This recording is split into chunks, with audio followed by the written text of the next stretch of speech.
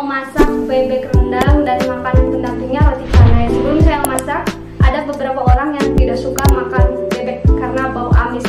Nah, di sini saya akan kasih kalian tips cara memasak bebek biar tidak berbau amis. Nah, di sini sudah ada bahan-bahannya. Bebek rendangnya, bebek, cengkeh, kapulaga, daun serai, daun serai, serai. Ini serai yang sudah saya potong-potong, bawang putih, bawang merah, bawang bombay, lengkuas yang sudah saya potong-potong, jeruk lemon, kemiri, gula merah, jahe, kunyit, daun salam, daun jeruk, jintan bubuk, ketumbar bubuk, merica bubuk, bumbu kaldu, garam, gula, air jika nanti butuh air bisa ditambahin air lagi, susu cair, santan untuk menghilangkan bau amis dari bebeknya. Jadi di sini ada dua santan yang saya pakai untuk masak rendangnya dan untuk menghilangkan bau amis dari bebeknya ya. Nah ini santannya yang nanti saya pakai untuk buat rendang bebek. Untuk acarnya timun, wortel yang sudah saya parut, bawang merah yang sudah saya potong-potong, lemon, garam, gula, cuka, abon cabai, garam, nanas, dan air secukupnya. Bahan untuk roti canainya, di sini saya ada minyak, nanti pakai secukupnya saja.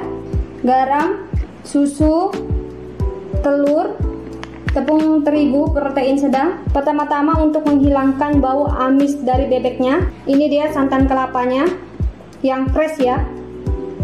Ini langsung saya kasih ke bebeknya. Ini tips dari saya cara menghilangkan bau amis dari bebeknya.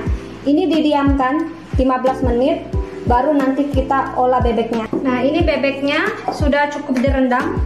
Ini langsung saya presto biar bebeknya lembek, tidak keras ya. Ini nggak perlu saya cuci santannya. Kalau teman-teman mau cuci juga nggak apa-apa kalau misalnya mau buat buat ngilangin santannya karena saya kan mau buat rendang ya jadi nggak perlu dicuci nanti pakai santan juga ini saya tambah air untuk memasak. Kasih garam bumbu kaldu. Jangan lupa ditambahkan daun jeruk biar wangi. Ini langsung di presto ya. Di presto selama 25 menit teman-teman cukup. Kompornya langsung saya nyalakan. Ini sudah nyala. Ini kompornya saya matikan udah cukup ya di presto.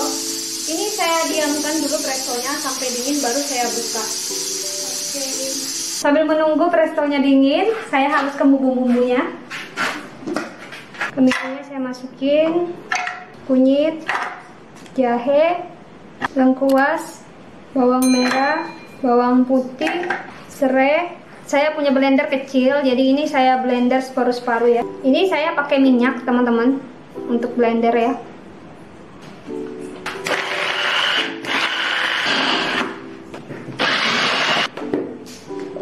sudah halus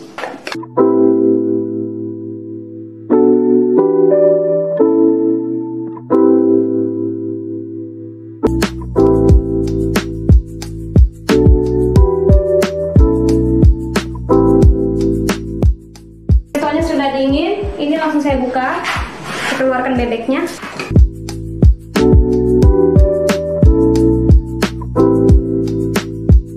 Bebeknya langsung dimasak ya. Ini langsung saya tuang minyak.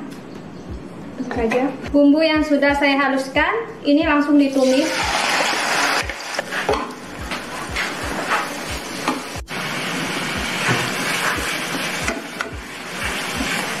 Jika bumbunya sudah kering, ditumis seperti ini, bebeknya langsung saya masukin ya. Santannya saya masukin, bumbu kaldu, garam, satu perasan lemon, kapulaga, cengkeh, daun, daun jeruk, daun salam, ketumbar bubuk, jinten, gula pasir, sedikit, serai, susu cair. Ini ditunggu sampai matang ya. Oke. Sambil menunggu bebeknya matang, saya sekarang buat roti canainya untuk makanan pendampingnya. Tepung terigunya saya masukin ke wadah, telur, garam, susu cair. Ini langsung diadon. Minyak sayur.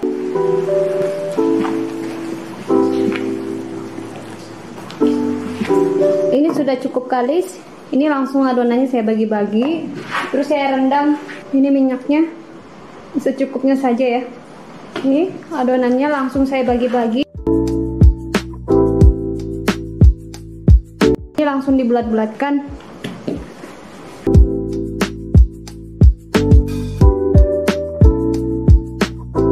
Langsung ditaruh di minyak, minyak sayur.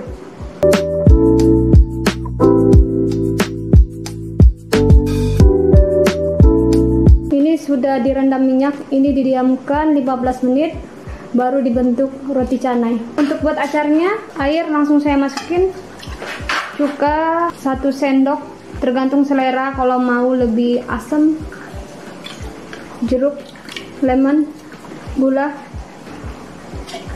tergantung selera juga. Kalau kalian mau lebih manis di sini saya pakai 3 sendok abon cabai tergantung selera. Kalian mau pakai cabai yang segar juga boleh di blender karena di sini saya tidak ada. Jadi saya pakai abon cabai. Tergantung selera mau pedas ya. Bawang merahnya garam. Tergantung selera. Kalau kalian mau lebih asin boleh tambah garam lagi. Nanas dimasukin.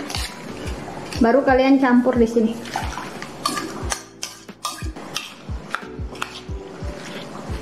sudah jadi. Ini sudah cukup direndam. Ini langsung dibuat roti canai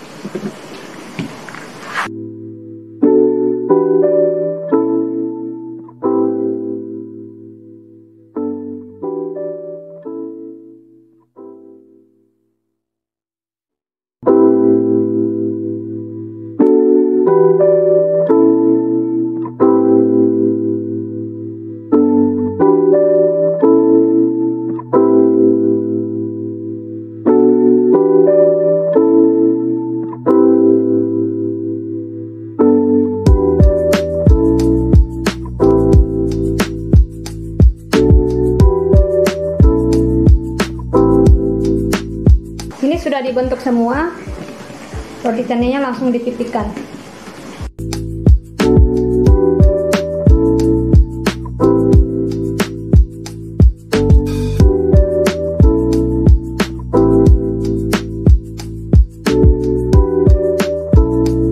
Ini saya masak pakai butter.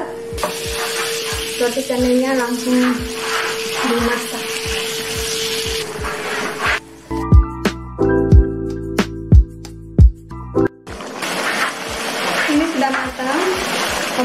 matikan caningnya sudah matang cantik sekali.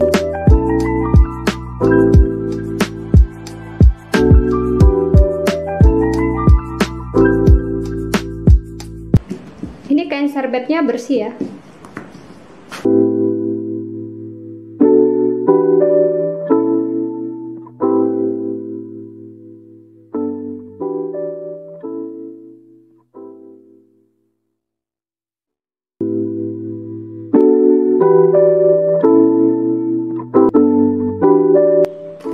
bawang goreng